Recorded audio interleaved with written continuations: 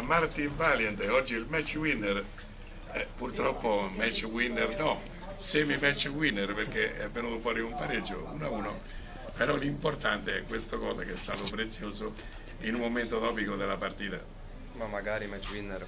Eh. Semi ho detto purtroppo. Sì, purtroppo sì. Eh, come ho detto già prima, credo che abbiamo fatto una buona gara come tante altre prima stiamo giocando bene, creiamo tante occasioni ma non riusciamo a portare a casa tre punti. Che ci manca, ci manca tanto, è da tanto tempo e quindi bisogna rivedere magari qualcosa e dare sempre qualcosa di più perché se no eh, non arriva la, la vittoria saranno i tempi duri come dicevamo prima, terzo gol in maglia rosso-verde, secondo qui al Libero Liberati.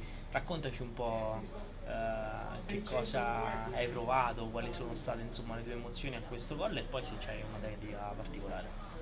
No, ma il gol eh, è arrivato anche per caso perché era una respinta, mi sono girato, ho, ho tirato come ho provato già anche partite precedenti, meno male questa è entrata e la dedica, io lo dedico sempre a mio nonno, ma questa volta la dedico a Simone Sinico per la sua scomparsa, un ragazzo, ragazzo che conoscevo di vista, quindi è per, per, la sua famiglia, come un piccolo sostegno.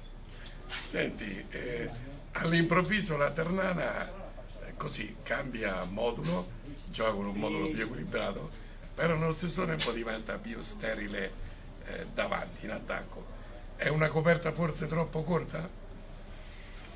Ma questo non so dirti, abbiamo cercato di giocare diciamo, con, i uomini, con i più uomini avanti, abbiamo fatto più gol, però anche abbiamo subito di più. Adesso magari portiamo un po' di meno uomini davanti, non li facciamo 3-4 gol come all'inizio, eh, però non li prendiamo, quindi bisogna trovare un equilibrio dove gol non si prendono e si fanno. Non è facile, se era facile già si faceva quindi è anche una questione di, di, tutto di allenamento io credo che questo gruppo sicuramente lavorerà duro per uh, uscire da questa classifica. Nonostante i quattro risultati utili consecutivi che sono il frutto di quattro pareggi la vittoria però manca da parecchio tempo a questa Ternana ecco. Avete mh, mm, sentito un po' il peso di questi tre punti che tardano ad arrivare oppure andate avanti tranquilli? No, non dobbiamo andare avanti tranquilli perché se uno non è tranquillo non può lavorare bene però sicuramente la vittoria ci manca, sono tre punti che in questa classifica cortissima fanno differenza, quindi bisogna sempre essere concentrato, aver voglia di lavorare e io credo che i tre punti lavorano e possono essere una svolta di campionato.